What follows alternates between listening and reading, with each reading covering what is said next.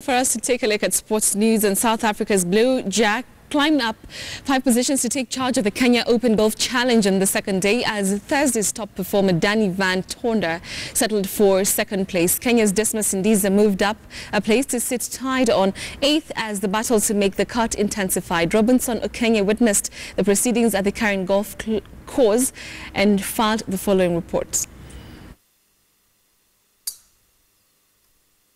As the Kenya Open Golf Challenge got into its second day, Kenyan players were under the microscope as fans turned out to see how they compare to their visiting opponents. Kenya's hard-hitting Dismas Indiza continued with his momentum from day one as the Mumias best golfer finished tied on 8th on the leaderboard. Indiza, who teed off in the morning, began the day carding four birdies and a bogey in the first nine. Two bogeys, a birdie and four pars in the second nine propelled him one place high on the leaderboard, finishing 5 under par 139.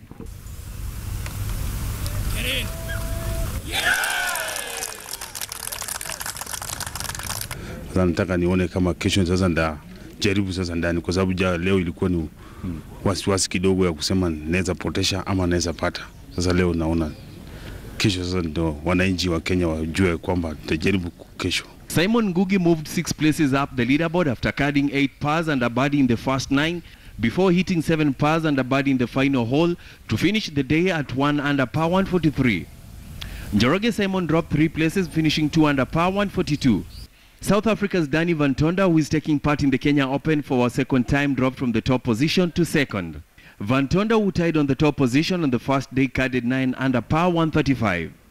The South African believes he has what it takes to handle the pressure from his competitors as he seeks the top spot. I mean, there's no pressure. Anytime there is pressure is when I put the pressure on a different guy. That's pressure. South Africa's Blaauw Jacques climbed up five position to take up the first place, while England's Sam Walker is fourth. It was a day of mixed results for a majority of Kenyans on the course as the Challenge Tour got on to its second day. For the Kenyans who made the cut, all eyes will be on them as the competition hits the home stretch. Robinson Okenye, KTN Sports. It was a day when the cabinet secretary for sports and enumerated what he has achieved in their different in the different portfolios since the Jubilee government took over sports. The cabinet secretary Hassan Wario, who has been under intense pressure for some from some quarters over his handling of the doping menace in the country that is threatening Kenya's participation in the Rio Olympics. However, he is adamant that Kenya is on the right track. We have handed in the uh, the anti-doping bill and policy. We have a sprightly new uh, parastatal called Anti-Doping Agency of Kenya, which for the first time in 50 years is going to deal with the issues of cheating or doping in sports in a very structural manner. These issues were dealt with before in ad hoc manner. People were guessing how to deal with it, whether to ban or not to ban. Now there's a body for the first time, fully constituted, well uh, you know, uh, well regarded by World Anti-Doping Agency and International Athletics Federation and many other organizations. So what are we saying? We're saying we're putting our mouth where talent is, ensuring that talent is enhanced, making sure that uh, if you're a sports person or if, you, or if you're a creative in, in the arts sector, you get an opportunity for growth, and that is our business. Despite bagging the FKF Western Provincial League last year, FC Bungoma and Imagine football team is almost grinding to a halt. The team is financially handicapped and could wind up soon if they do not get a sponsor. Robert Wanyonyi reports from Bungoma. They arrive early to train here at Masinde Muliro Stadium, Bungoma.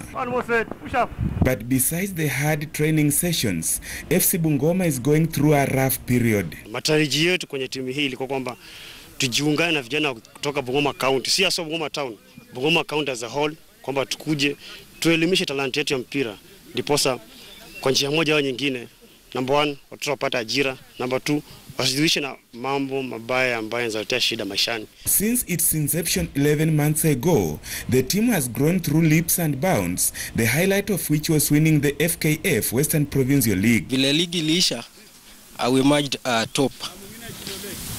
Sasa ni, ni, ni kitu ambacho tumekosa ni ile support. But financial problems have bedeviled the previous achievements of the club, with local leaders and respective sports officials giving the team a cold shoulder. Tuna face financial crisis kwa hii timu yetu. Uh, and we want to go far because we are nurturing talents. As you can see we have young young people wenye wanaweza kuja hapa wawache drugs, wawache kufanya vitu mbaya, wakuje kucheza hapa mpira. So we just appealing for sponsorship from anybody who is out there. It's a hard situation that has forced these youngsters eager to develop their football careers to make a passionate appeal to well-wishers. Tunaomba leaders wetu tuna leaders wetu yoyote, mtu yoyote anaweza kuja on board atusaidie, kwa sababu vile umesikia kuna financially tuko down kwenye, tuko down tu sana sana. Mtu yoyote mwenye anaweza kuja on board sponsor team, tuendelee vizuri. Tumejaribu kuwafikia viongozi kadhaa kadhaa, but kwa sasa bado hatujapata uhakika kwamba wajatupatia eh, jibu sahihi kwamba watakuja on board kusaidia, so we are still waiting for them for, for their response, and as per now we can't say that tumepata, bado tunatafuta and we are still at standstill. Even after emerging tops in the Western Provincial League last year, FC Bungoma is still struggling financially, with local leaders showing no signs of assisting these youths develop their soccer talents. Robert Wanyonyi, KTN News Sports.